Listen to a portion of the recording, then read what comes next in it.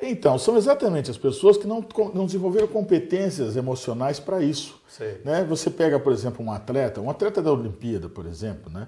esse indivíduo ele, ele, ele é treinado para trabalhar sob um extremo estresse. Perfeito. Né? E, né, e ele consegue essa produção. Quer dizer, um trabalhador, um profissional qualquer, em qualquer que seja a área, na medicina, na engenharia, em qualquer área, um indivíduo que tenha treinado essas competências emocionais, ele vai ser muito mais resistente às dificuldades e muito mais criativo na solução dos problemas. O grande problema é que em duas áreas a gente não pensa muito em treino. Né? Uma delas é o trabalho. As pessoas não se preocupam, dizer, eu estou num emprego, eu acho que se eu fizer direitinho está tudo bem. E não é verdade. Eu tenho que estar constantemente evoluindo. E a outra, infelizmente, é o amor. Né?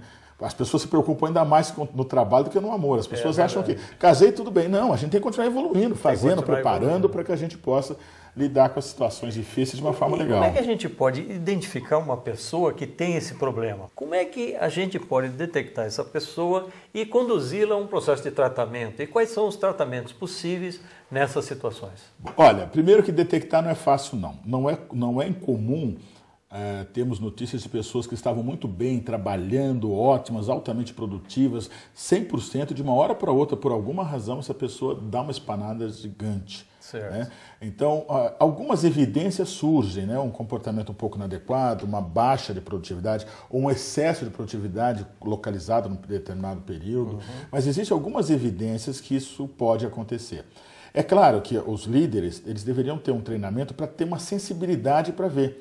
Algumas empresas estão criando hoje um negócio muito interessante, que é treinando pessoas da comunidade da empresa, independente do nível hierárquico que tenham, para estarem atentos a essas mudanças, para evitarem problemas mais sérios, que vão do, desde uma, de um absenteísmo ao suicídio. Né? Então as coisas são realmente muito sérias.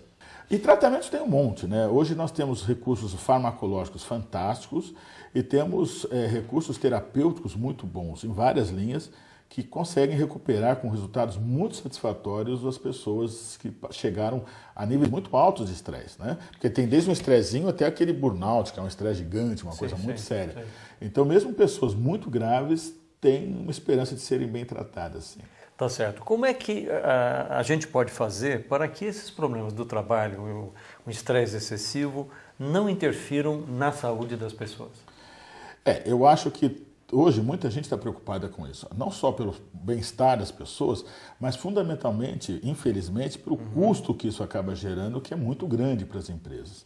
É falamos em milhões de dólares em termos de prejuízo, devido não só ao absenteísmo, que é quando o indivíduo não vai trabalho, mas ao presenteísmo, que é quando ele vai, mas não produz, vai, mas ele não vai, produz. mas não está legal, certo. ele vai, mas não consegue produzir. Existem muitas estratégias, né, que vai desde de você orientar os líderes para a forma mais adequada de lidar com as pessoas, que passa pela forma de você ter lá um, uma comunicação dentro da empresa, valorizando certas condutas, certos cuidados com a saúde, uhum. que ter exames periódicos adequados e, e, e, no exame periódico avaliar como é que estão as coisas. Algumas empresas estão fazendo dentro da empresa um trabalho ativo, né, com palestras, com grupos de trabalho, para que as pessoas possam lidar mais adequadamente com o estresse. Tá o grande problema, Eduardo, é que não há como viver sem estresse.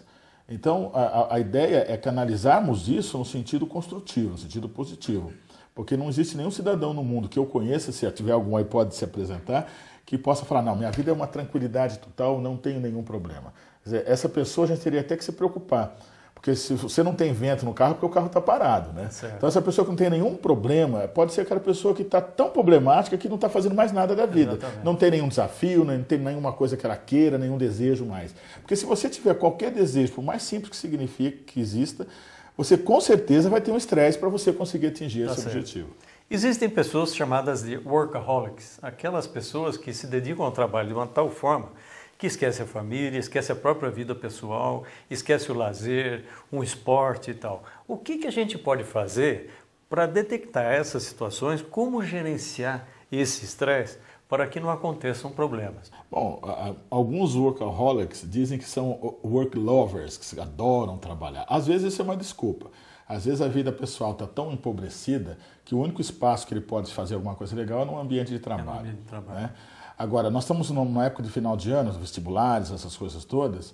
É interessante colocar para essas pessoas que, por alguma razão, precisam trabalhar muito, aquela história do cortador de, de, de árvores, que enquanto uns paravam para afiar o machado, outros ele, ele não parava. Né? E os outros eram muito mais produtivos, é lógico. Quer dizer, você tem que de vez em quando dar uma paradinha para relaxar, se organizar, se reestruturar e continuar trabalhando. Existem alguns professores que reclamam e já foram submetidos a processos de violência. Foram à escola, têm às vezes seus pneus dos carros furados, às vezes ele é, vamos dizer, agredido verbalmente, depois até fisicamente, ameaçado. Isso gera uma situação daquele professor dizer: eu não posso mais ir naquela escola, eu tenho que mudar de escola. Isso gera um estresse negativo? Eu acho que isso gera muito estresse. Esse é um campo que, terrível. O grupo de professores hoje é um grupo muito estressado. E, e, infelizmente não é uma coisa localizada, é uma coisa generalizada. Eu recebi ontem uma charge de um amigo meu de Portugal, que ele, é, são dois quadros, né? ontem e hoje. Ontem, então tem o pai, a mãe e a professora dando uma bronca no garoto. E ele pergunta: Isso, é, isso são notas? E hoje é o pai, a mãe e o garoto rindo assim, criticando o professor. Isso são notas? Quer dizer, parece que a culpa antes era distribuída exclusivamente ao aluno, hoje é uhum. exclusivamente ao professor. Então, o professor está pressionado por, um, por uma, uma, proposta pedagógica inadequada, por uma responsabilização que a família projeta sobre ele, que não é dele, é da família, mas fica como se fosse dele. Certo. Ele tem uma, uma, uma, dificuldade estrutural do salário e tudo mais, e, e tem o total desinteresse dos alunos. Né? Então, hoje, realmente, ser professor é, é ser mais ou menos um herói. É, lamentavelmente, talvez uma das profissões mais importantes que existe na humanidade, que é ensinar está extremamente desvalorizado com muitos problemas. Na sua conduta profissional, o que, que o senhor tem feito para trabalhar essas questões e ajudar as pessoas a saírem dessa situação? Olha, no CLAD a gente tem trabalhado em vários níveis. O primeiro é com as pessoas que já estão com problema, cuidando delas para que elas se reintegrem o mais rapidamente possível Sim. à vida normal. Ah, também fazemos a capacitação de profissionais para dentro das empresas ou profissionais psicólogos, médicos, para que eles lidem de uma forma positiva com o estresse. E também temos palestras, uma série de workshops onde a gente trabalha treinando ou o profissional que vai cuidar ou o indivíduo final que precisa de ser cuidado no sentido do estresse.